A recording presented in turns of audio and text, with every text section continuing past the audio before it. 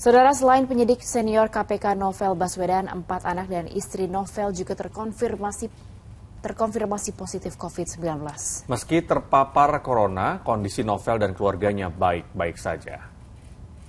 Pagi saya eh, bersama keluarga ke poli COVID di Puskesmas. Dalam keterangan resmi yang disampaikan melalui rekaman video selasa siang, penyidik KPK Novel Baswedan mengaku pada selasa pagi dirinya bersama istri dan anak-anaknya melakukan pemeriksaan kesehatan ke poli COVID-19 di Puskesmas Kelapa Gading, Jakarta Utara.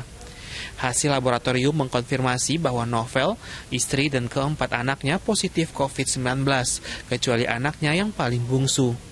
Meskipun demikian, dokter menyampaikan bahwa Novel dan keluarga telah melewati fase kritis. Novel pun berharap kondisinya semakin membaik dan bisa pulih seperti sedia kala.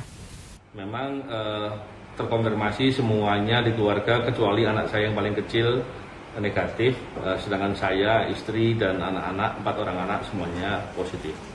Tapi dokter menyampaikan bahwa eh, apa yang terjadi dengan eh, COVID sekarang ini terhadap keluarga saya fase-fase kritisnya sudah lewat.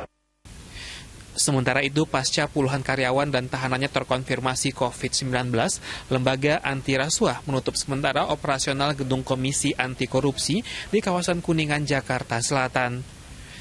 Di hari kedua penutupan pada selasa siang, tim penindakan hanya memeriksa satu perkara, yakni kasus korupsi di tubuh PT Dirgantara Indonesia dengan tersangka Kepala Divisi Penjualan PT Dirgantara Indonesia, Irzal Rizaldi Zailani.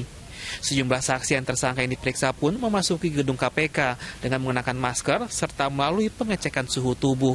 Arofah Supandi melaporkan dari Jakarta.